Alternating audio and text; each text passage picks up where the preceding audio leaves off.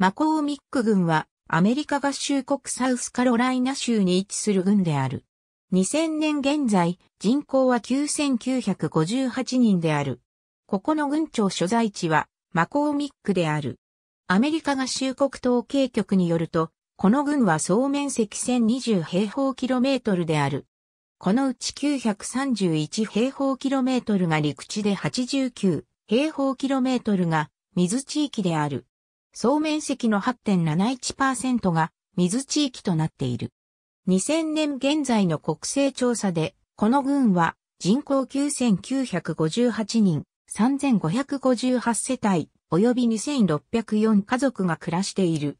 人口密度は11平方キロメートルである。5平方キロメートルの平均的な密度に4459件の住宅が建っている。この郡の人種的な構成は、白人44.78%、アフリカンアメリカン53.88%、先住民0.07%、アジア0.29%、太平洋諸島系0.03%、その他の人種0.38%、及び根血0.57%である。ここの人口の0.86%はヒスパニック、またはラテン系である。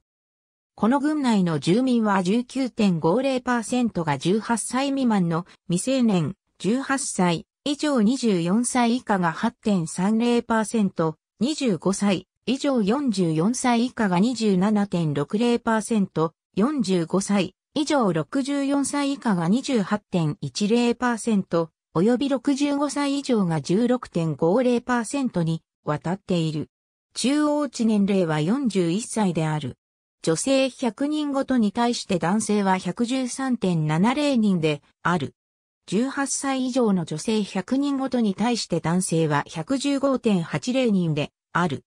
この群内の世帯ごとの平均的な収入は31,577米ドルであり、家族ごとの平均的な収入は38,822米ドルである。男性は28,824米ドルに対して女性は21,587米ドルの平均的な収入がある。この軍の一人当たりの収入は14,770米ドルである。人口の17.90%及び家族の15.10%は貧困線以下である。全人口のうち18歳未満の26.50%及び65歳以上の11.90%は貧困線以下の生活を送っている。ありがとうございます。